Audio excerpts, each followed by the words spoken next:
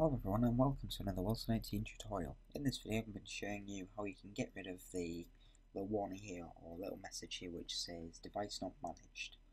Um, so if you do need to edit any of the config for um, your device but you're not happy doing it by the terminal then the best thing to do is make it managed. Uh, it does require going on the terminal but it's quite simple.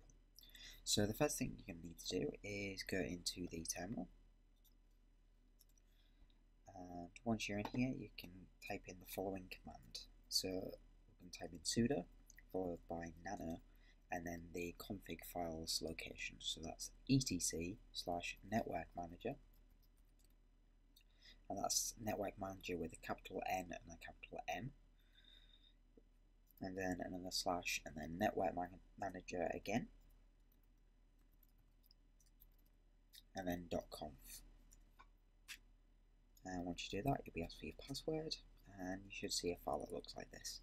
So the bit we need to change is this little bit here where it says managed equals false.